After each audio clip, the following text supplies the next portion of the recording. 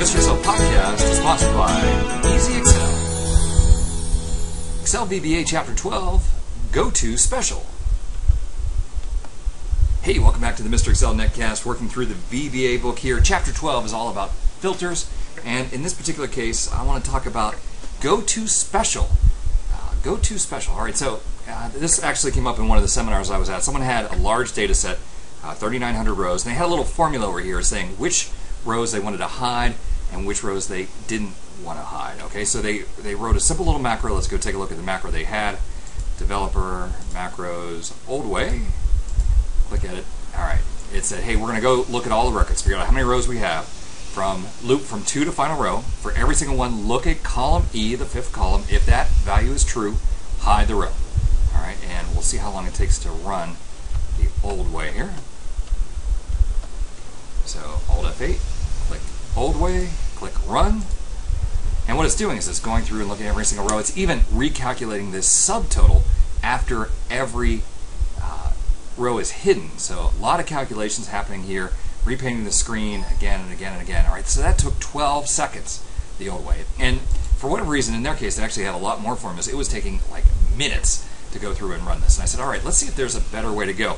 I'm going to go into another worksheet here where all of the data on the left is the same, but I took their formula. They had a formula here that said if D4 is less than 0.5, and I rewrote that formula. I said, okay, if it's less than 0.5, then I don't want to put true or false. I want to put something that we can differentiate. I want to put either the number one or some text called keep.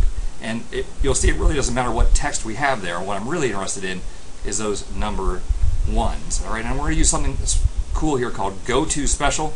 Normally that's found on the Home tab. Come over here to Find and Select, choose Go To Special. You could also use Control G or F5, then click on Special. And in Go To Special, if you've never used this dialog box, it's amazing. Uh, we're going to ask for the formulas that are evaluating to numbers, not text, not logical, not errors. Click OK, and you'll see that what happens then is they select only the numeric cells. All right, now we're going to take advantage of this in VBA. We'll take a look at the uh, new way. We'll edit that code. All right, the macro starts out the same. Hey, figure out how many rows we have today. Then we start from E1 and resize down to the last row. So all of this happens in one command.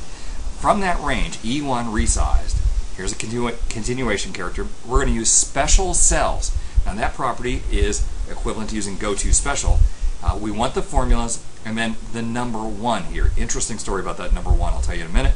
Uh, and then dot entire row dot hidden is equal to true. So in one fell swoop, it's going to find all the numbers and hide those rows in a single command.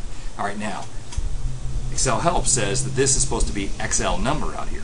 All right, and we talked about defined constants in an earlier podcast. I think uh, maybe chapter two was about defined constants. And remember, I said you can say, down here say print XL right, and you can see what that value is. Well, for some reason, print XL number it's not set up correctly. Um, it's supposed to be the number one. So the help file is not doing the right thing here. Um, so I actually had to put in the number one instead of the, the defined constant. So just you know, earlier today I talked about in chapter two how cool the defined constants were. Here, this one was completely uh, uh, just well, causing me a lot of headache until I figured out. Uh, I actually turned on the macro recorder. Saw the macro recorder didn't use the constant, he used the number one. It's like, oh, okay. The guy who does the macro recorder knew it was broken. Why couldn't he tell the person who actually fixes the constant? But that's another story. All right, so now remember it took 12 seconds to do it the old way. I'm going to try and run it the uh, the new way. We'll click run. Bam! In about one second, it went through and was able to hide all of those rows very, very quickly. Uh, so you know, factor of, of 12 to one. Um, for the person who was taking minutes, just imagine how much faster uh, that was. So Go To Special is a great dialog box in Excel, very hidden, most people never see it. Uh, the equivalent function in VBA is special cells. Here this was a, a, situation where by tweaking that formula a little bit, so we were able to look for just the numeric cells, we were able to take advantage of special cells and not have to loop through all the records. Just came up with a, a very, very quick, quick solution. We'll see you next time for another netcast from Mr. Excel.